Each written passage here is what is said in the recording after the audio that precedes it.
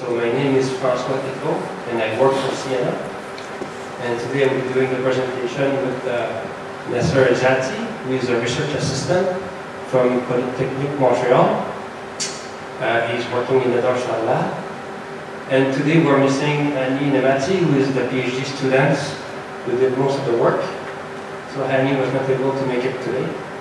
And we're going to be talking about uh, how to do performance analysis across virtualized uh, virtual machines. So the agenda for today, we're going to first talk about uh, the motivation for collaboration with uh, Polytechnique Montreal. Then we're going to slightly introduce the different layers in the virtualization system. Then we're going to talk about the new approach that we are proposing for, for in the presentation and get into cool set of uh, analysis technique that we were able to do from that. So we looked at flow nested VMs. We also looked at uh, nested VMs configuration and uh, Linux Advanced Packaging Tool Analysis, undesirable parallelism. Then we're going to jump into a trace compass update, a demo, and a conclusion. So our motivation for that. So at Ciena we use, you know, like all the virtualization technology that's readily available. Most of people in the room probably use emulators, containers, software virtualization, hardware access virtualization, and power virtualization. So nothing surprising here, but what happens if you work on a very large, large uh, scale project and you want to simulate, for example, in our case, it's, you know, we want to simulate uh, very large numbers of network elements, um, switches, routers, and so on. So where do you start, you know, when you want to scale to a very large number of any simulation to look at your performance and your scalability. So this is what the motivation is. So let's say we start from this um, very simple um, node simulation configuration as an example. So here it's a node, a simple node with two cards. And that node obviously can have more than two.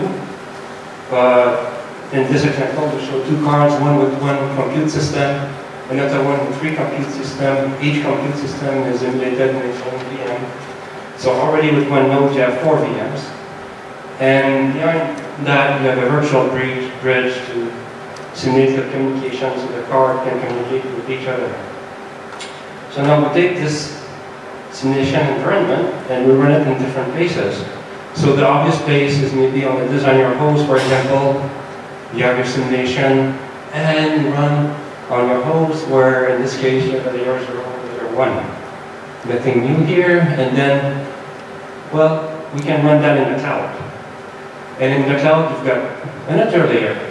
You've got your cloud machine, you've got your layer 1 where basically you emulate the holes that we have in the single host example above. And then within that, you run, you know, numerous instances of simulations.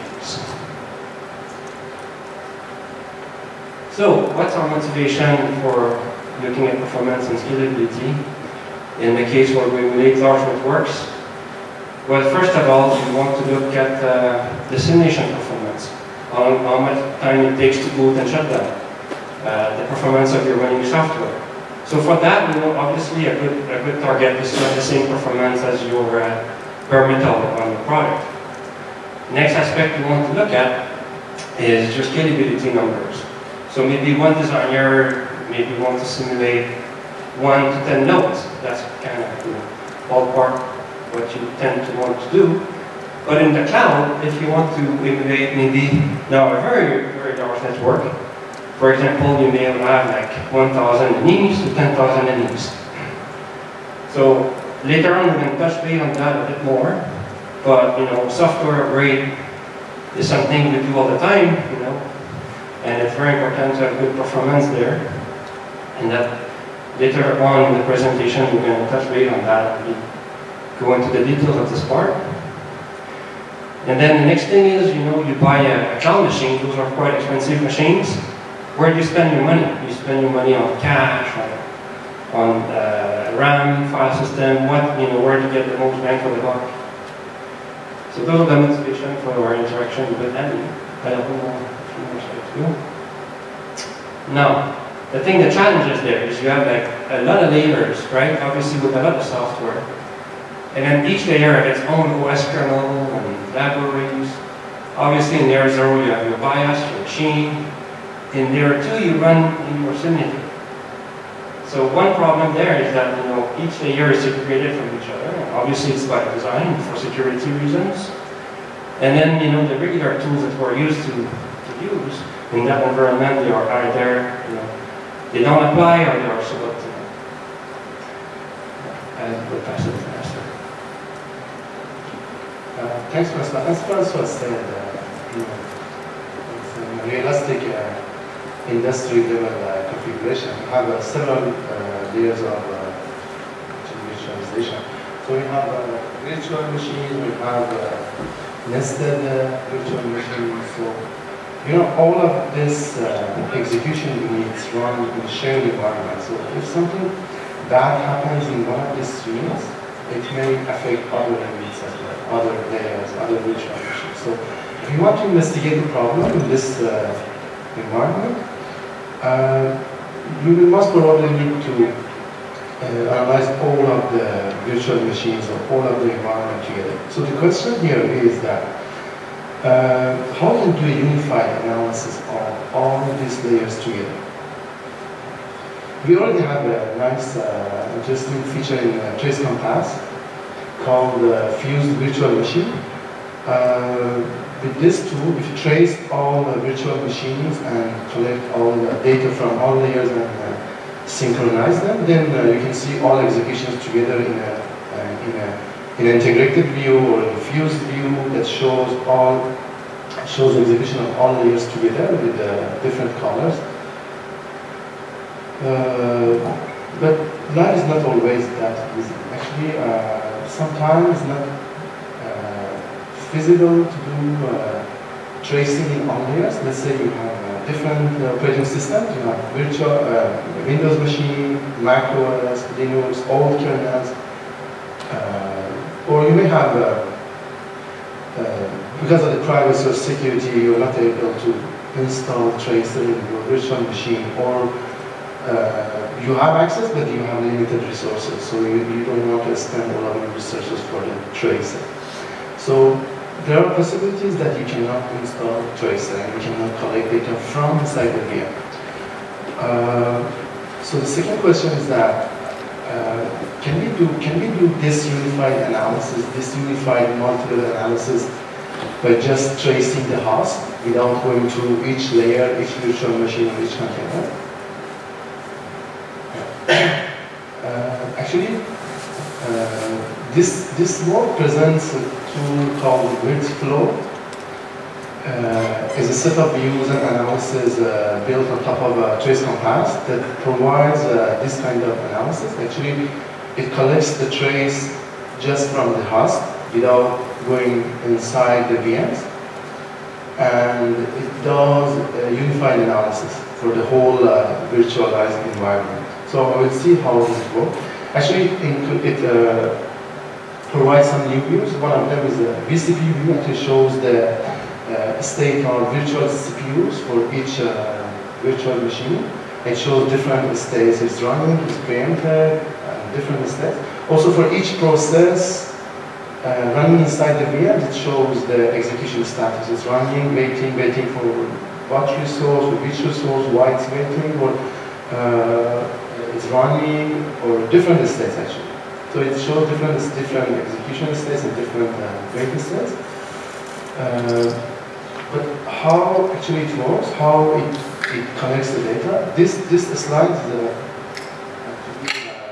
explanation of this slide is published uh, is published as a paper in IEEE transactions, so I'm not going to explain all of the detail, but what it, in, in summary, what it actually does, uh, in, in trace compass and control flow, we can see, uh, the first line shows the cumulative so you see that the orange is somehow is the or block, then green shows it runs in uh, a user space, but it doesn't show too much detail about it. But the vCPU view that is offered in this book uh, shows the more details of that. Actually, it shows, for example, here, uh, it detects actually the, the reason for the blocking. It shows that it was a timer. Then uh, shows that there are some, the, yellows here are the virtualization overhead, actually the times that uh, the controller goes to the VMM, uh, the, the, virtual machine root mode. And uh, it actually shows that the real execution uh, was only this part out of all this part. So you can get more details, and it uses actually VM entry, VM exit, uh, QEMU uh, trace events to uh, extract all of this info. It also works for uh, nested uh, VM. Let's say you have virtual machine, and inside that you have another VM. So by this analysis, by this tool, we can get the executions and uh, uh the CPU, virtual CPU and process executions from uh, inside that nested VM just by tracing the host. Uh, so there are some patterns, actually we extracted some patterns uh, to, to get this uh, execution states. For example, here uh, for the nested VM, the second part, actually it shows that so it actually follows the VM entries, VM exits, and uh, injected uh, IRQs or other uh, events. But here, for example, uh, VM exit JSON24 is a key element to detect this, to detect that it's going to run a nested VM code.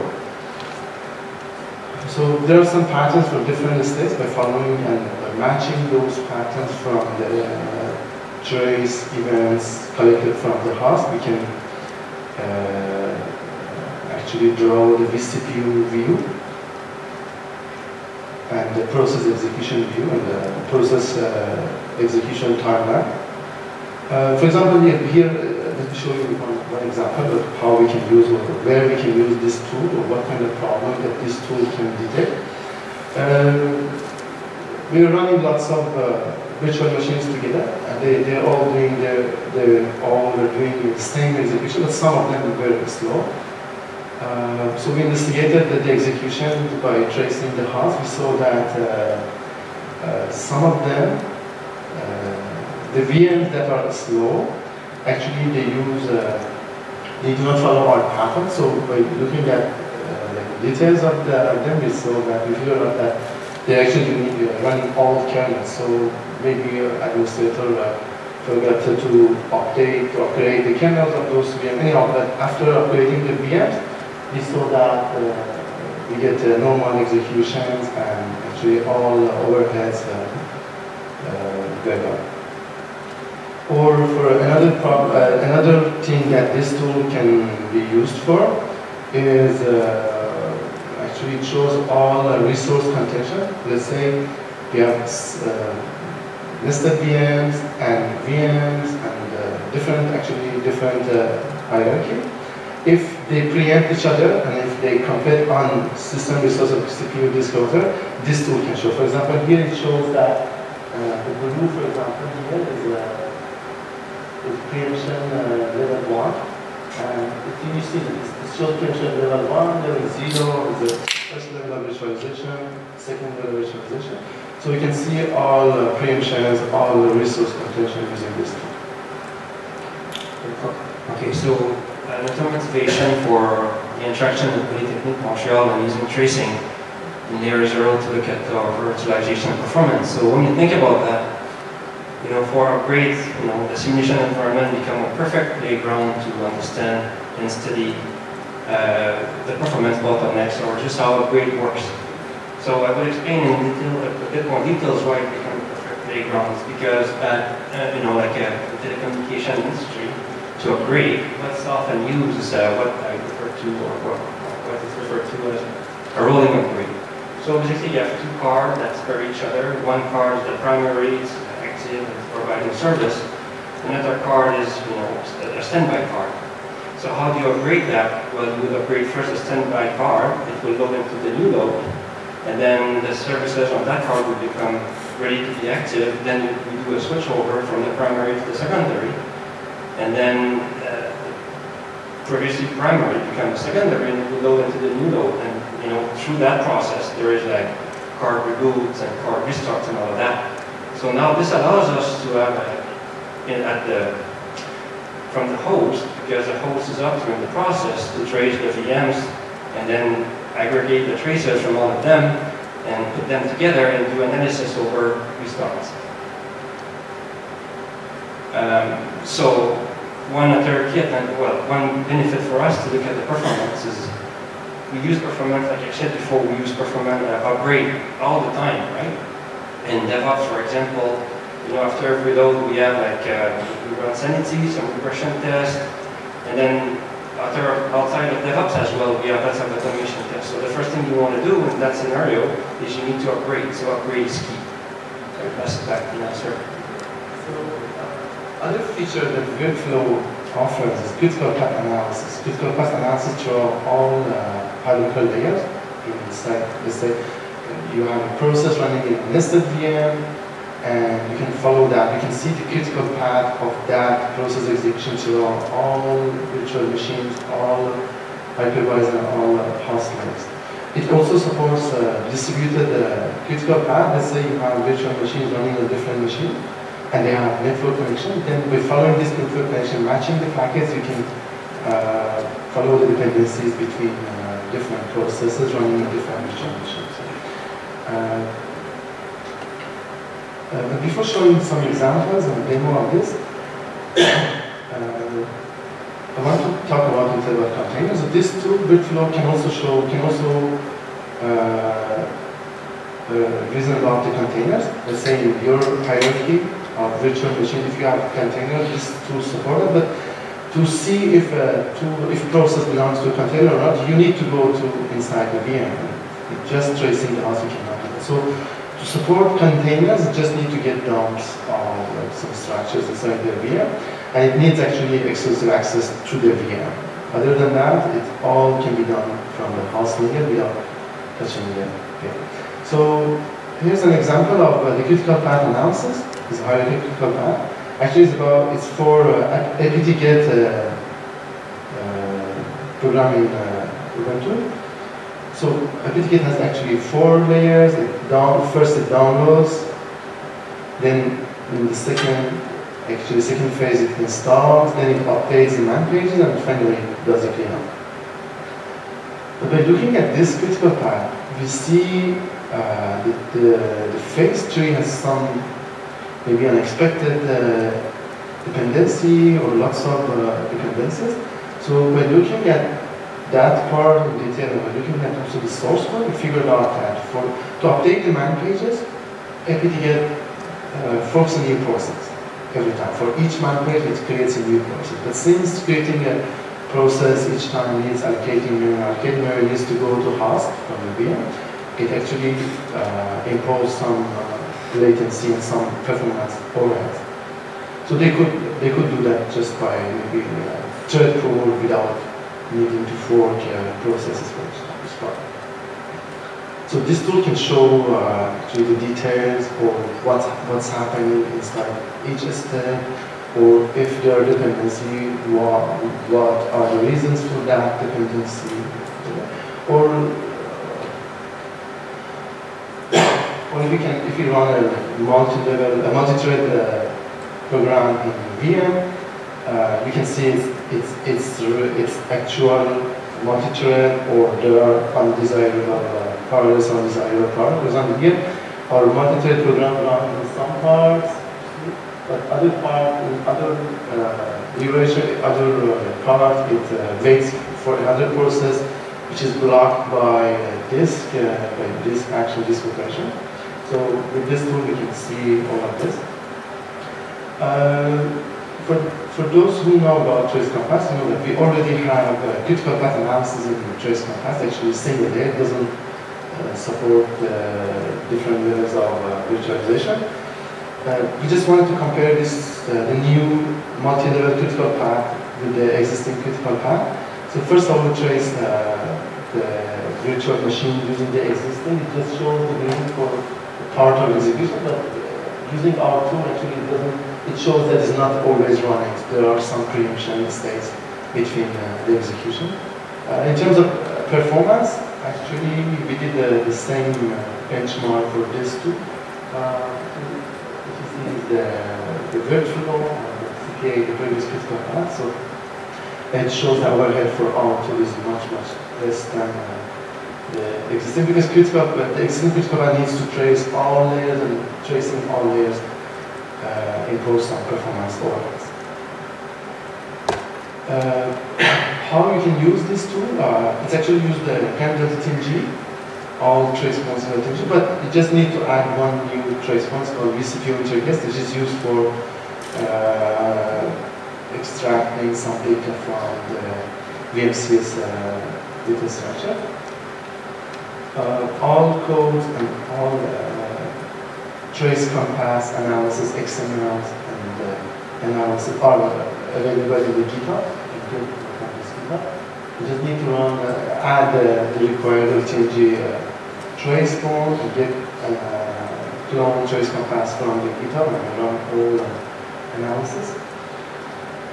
Uh, I have some demos to show, but before going to demo, for those who follow the trace compass outcase, in the trace compass we have some new interesting features. Uh, first of all, it's, just, it's the system explorer. It actually was there already, but uh, uh, it adds a new to state system. As now, it's, it's, possible to follow the states of execution. Uh, the different colors, before the night were just numbers, but now it's colors and shows the execution and states of execution in different colors. So and timeline view, so it's easy to follow. It allows to export all trace compass views uh, to images. So we can get a screenshot, uh, actually we can dump and uh, export views to images. Also, it supports uh, trace trimming. Let's say uh, you a trace in trace compass and uh, uh, you find some part interesting, so you can choose that part and export it as a new trace file, as a new, new trace file. So then uh, you can open that trace file separately or you can send it to someone else or whatever. So you can trim, you can export uh, any specific part of trace to a new uh, trace, CTF trace file actually. Uh, there are other uh, features like resource view enhancement. It shows uh, active threads. You can change the, the color and some fancy interface things in trace compass. For demo, just want to show um, two examples from uh, the third flow first. The first floor, this one shows the nested VM, how it shows the, the view here, and actually this here, the control we have two views uh, here, the vCPU view and nested uh, CPU view. So here we have one, one CPU with uh, four virtual, uh, one, one virtual machine with four uh, vCPU and one nested with uh, three vCPUs. So it shows, you see the control flow shows the execution. But here it shows the actual execution inside the VM. It shows the vCPU real execution. And so here we can choose, it actually shows the root, VMM root part, a VMM non-root or a VM execution part. And for some parts also, it goes to the nested VM and shows the, you don't control flow, it just green, it shows it's running. But in the, the in the virtuals, in the virtual machine or nested virtual machine, there are some uh, preemption, some waiting, some blocks, which uh, this new view uh, can show them. the other uh, workflow used for the shows the preemption. See there, there's uh, two VMs and uh, two processes running on different two two different VMs, and here uh, the gray shows the preemption and the green shows uh, execution. So it shows how these two views preempt each other. And This uh, light uh, green actually shows the VMM nodes. It's CPU intensive and we have less uh, VMM uh, node. Also for the trace compass, as I said, now we can export part of trace as a new trace. Uh, we say we can save it as a new trace and we can export it to a new uh, CTF file.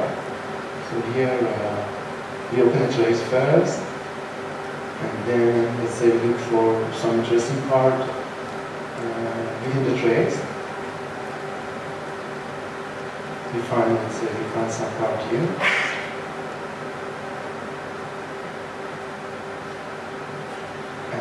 And we want to export this part and we want to save it as a new trace file. So you just go to File and Export, Export as a new trace, and you, you, name it you, with a new name, and you see the trace, uh, a new trace in the trace uh, folder.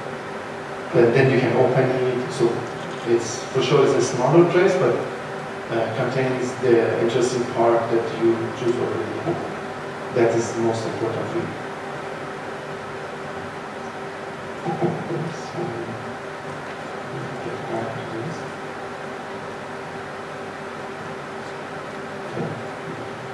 Okay, so as you can see now with these, uh, with these, new- this new event that was added in layer zero, we can have like a bunch of new analysis and views in Compass. Uh, we can see our virtual CPUs, or virtual processes. We can also do critical analysis and do, you know, see where uh, the processes are waiting, all of that across the virtual machines.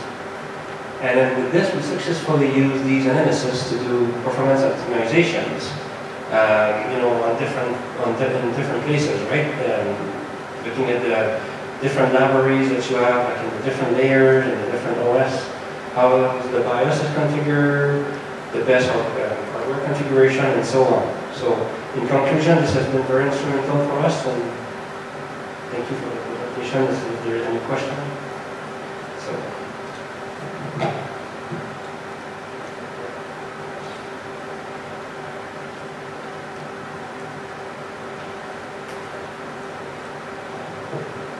Hi.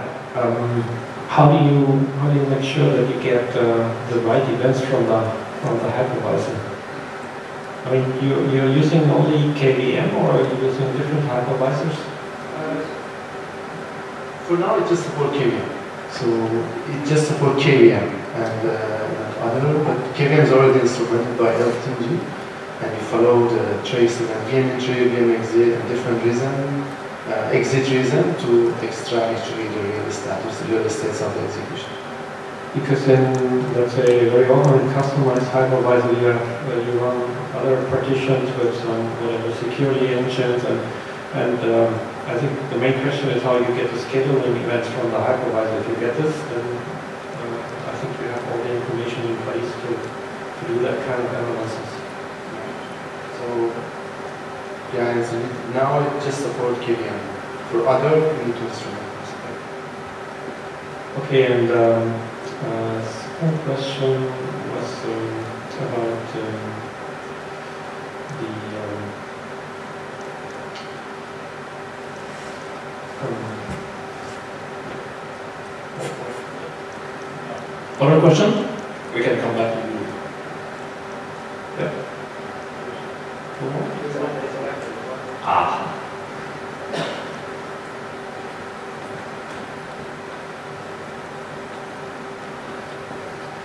Um, so this sounds awesome. Um, so how would I deploy it onto a host? What would I need to do? Where does all the packages live, etc.?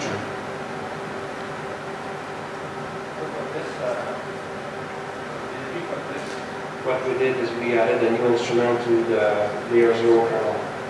It's the vCPU and Turkis, uh, and everything we derive from this, plus the KVM, QEMU, like everything is instrumented as well in, in, in layer zero. So Hani, well, Hani also has a GitHub uh, website, you can download the code from there, and Naser and Hani can provide more details as well. Yeah. So basically use LTTng as tracer. Yeah, and trace compass for viewing and and analyzing the trace. So we need to get LTTng and the trace compass. And uh, for trace compass, actually here it shows the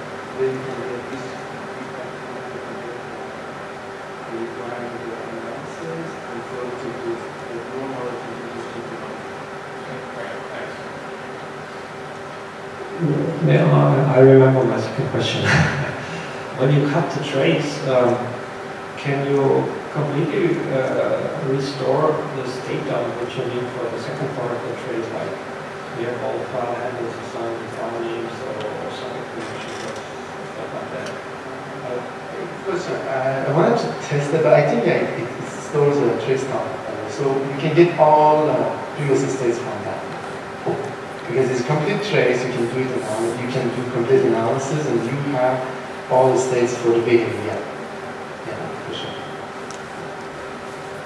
I'm not sure if it stores, uh, if it creates a state dump event, but uh, it somehow uh, preserve the states of the previous uh, part of the trace. I mean, the, the thread names and process names and that kind of stuff that. And the F- easy open to FTs can be extended to other states, which you derive from, from the current trace. Um, I'm not sure this is, uh, this is a generic feature or are you just looking at maybe uh, thread names and, and, and process names? Uh, actually, I'm not sure about that part. So uh, for sure, it, it preserves the, the state. Yeah, but I'm not sure if it generates the new state dump. So I have to look at that. I can answer you after that. Other questions? Thank you very much.